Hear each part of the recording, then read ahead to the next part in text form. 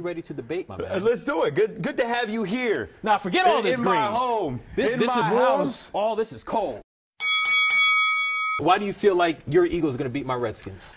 The reason why they're going to win is because Colt McCoy is the quarterback of your football team. Colt McCoy is not going to be the same quarterback you saw against the Dallas Cowboys because now he's preparing. I know the way he works. He keeps his notes on grafting paper. Who takes notes on grafting paper? That's Colt Absolutely McCoy. nobody. So he's going to be prepared and ready for Philly. And last I checked, my man, uh, how's your secondary doing? Well, here's what No, I'll no, say. no, no. Uh, Answer the question. Here's the thing. Here's your the thing. sec- no. Backup How is quarterbacks second- are backups for a reason. And how the are your backups- secondary? how's the the secondary? secondary is in shambles. All right, let's move on to the next They have a bunch then. of guys you've never That's all- heard of off the street, off the all practice squad. They still have a chance. In layman terms, they stink.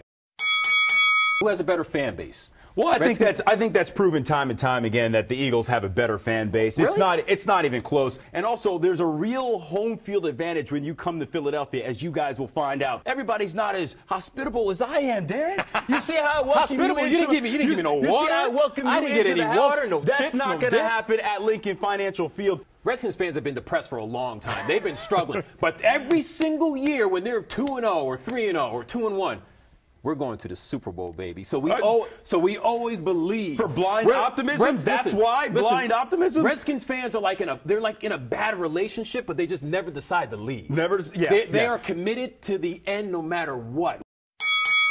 Better city to visit, Philadelphia or Washington D.C. I love D.C. I love Washington. There's a lot of great places there, a lot of history there. But this is, right here, Philadelphia, uh, this is the birthplace of America. So I'm going to go with Philadelphia because, you know, there not only is there Liberty Bell, we've got the Rocky statue, we've got the art museum. Rocky now- wasn't even a real uh, person. of course, Rocky is real. Don't, don't you Listen, start. I went to the don't you start. I went Next- to the statue on next- Sunday, man. I'm like, this guy. This is not even George Washington. Are you kidding have me? a statue of this guy. Next thing you know, you're going to tell me Santa's not real. I'm not. I'm not buying they don't have a at all. statue I'm of not him. Let's have a wager on the game.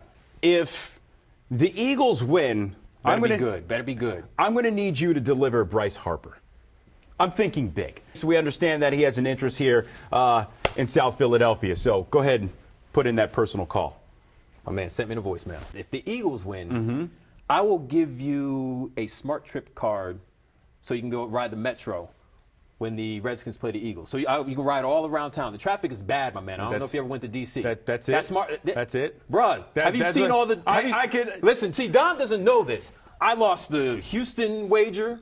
I lost the Atlanta wager. I lost the Cowboys wager. Listen, I'm not doing any... I'm, nah, I'm, SmarTrip card. That's what I was get. just going to say So you can it- ride the metro. It sounds like you better stop wagering. I am winless, There's but it's that. all right. All streaks are meant to be broken. Don Bell, Darren Haynes.